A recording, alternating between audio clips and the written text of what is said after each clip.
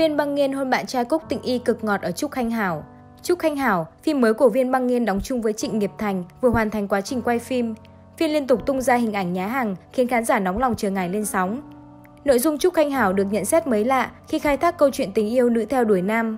Phim được truyền thể từ tiểu thuyết Cẩm y vệ đại nhân của ta. Nội dung xoay quanh nàng công chúa ốm yếu bệnh tật Trường Lạc và mối tình đơn phương dành cho Cẩm y vệ Thẩm Yến.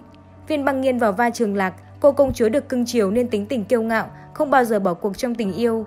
Trịnh Nghiệp Thành đóng vai Cẩm y vệ Thẩm Yến, vẻ ngoài đạo mạo nhưng thực chất rất mưu mô, tìm cách lừa gạt Trường Lạc vào chồng.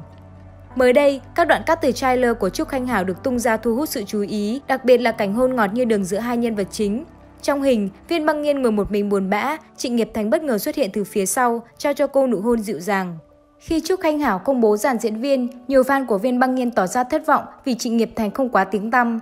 Hơn nữa, sức ảnh hưởng của Lưu Ly Mỹ Nhân Sát còn rất lớn khiến nhiều người ngờ vực Viên Băng Nghiên không thể tạo chemistry với Trịnh Nghiệp Thành tốt bằng Thành Nghị. Tuy nhiên, sau những hình ảnh mới trong Trúc Khanh Hảo, nhiều người đã phải suy nghĩ lại. Viên Băng Nghiên và Trịnh Nghiệp Thành đều là diễn viên trẻ có ngoại hình đẹp, năng lực diễn xuất ổn định, chưa dính phốt trong sự nghiệp nên chất lượng phim có thể được đảm bảo. Trúc Khanh Hảo là bộ phim cổ trang không có chi phí sản xuất lớn, nhưng các nhà làm phim không tiếc tay đầu tư cho phần tạo hình. Viên Băng Nghiên và Trịnh Nghiệp Thành được mặc trang phục bắt mắt, thay đổi liên tục, không gây nhàm chán. Đạo diễn cũng khẳng định tác phẩm sẽ bám sát nguyên tắc tiểu thuyết và không cắt bỏ chi tiết nào. Điều này càng khiến khán giả ngóng Trúc Khanh Hảo hơn vì bộ truyện gốc rất đáng yêu và mối tình giữa hai nhân vật chính vô cùng ngọt. Trúc Khanh Hảo giành được sự quan tâm đặc biệt do đây là bộ phim tái xuất của Viên Băng Nghiên sau cơn sốt lưu ly Mỹ Nhân Sát. Trước đó, tạo hình của Viên Băng Nghiên trong phim liên tục bị đánh giá bắt chước Triệu Lệ Dĩnh, tạo ra những ồn ào không đáng có. Tuy nhiên, trong những hình ảnh mới nhất của Trúc Khanh Hảo, khán giả đã không còn thấy hình bóng đàn chị ở Viên Băng Nghiên.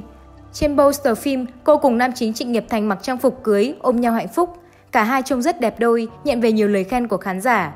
Trịnh Nghiệp Thành mang đến một cảm giác đáng tin cậy, ấm áp, khác biệt với hình tượng của Thành Nghị trong Lưu Ly Mỹ Nhân Sát.